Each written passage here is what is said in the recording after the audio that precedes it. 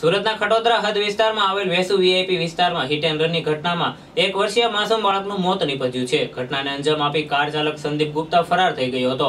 ઘટનાની જાણકારી મળતા ખટોદરા પોલીસે કાર ચાલક સંદીપ ગુપ્તાની અટકાયત કરી કાયદેસરની કાર્યવાહી આરંભી છે. સમગ્ર ઘટના સીસીટીવીમાં કેદ થઈ ગઈ છે.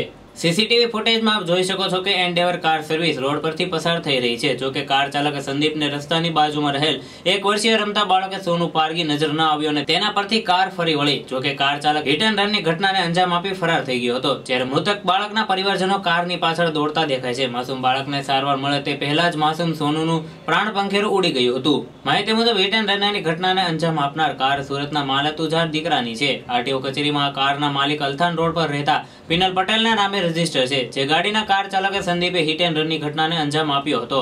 જોકે ઘટના સવારે અગિયાર કલાકે બની છતાં નવ કલાક બાદ પોલીસ ફરિયાદ નોંધાવવામાં આવી છે. તેને લઈ અનેક પ્રશ્નો ઉપસ્થિત થઈ રહ્યા છે.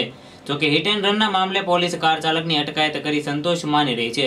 સૂત્રો મુજબ કારમાં, કાર માલિક પણ ઉપસ્થિત હતો. ખટોદરા પોલીસ અંડરવેર કાર સાથે કાર ચાલકની અટકાયત કરી કારને ખટોદરા પોલીસ મથક લાવવામાં આવ્યા હતા. બીજી તરફ પરિવારજનોનો આક્ષેપ છે કે પોલીસે સમગ્ર મામલે ભીનું સંકેલી રહી છે. આ મામલે સીસીટીવી ફૂટેજ ચેક કરી કાર્યવાહી કરવાની માંગ કરવામાં આવી છે. Bureau report, Azad news Surat.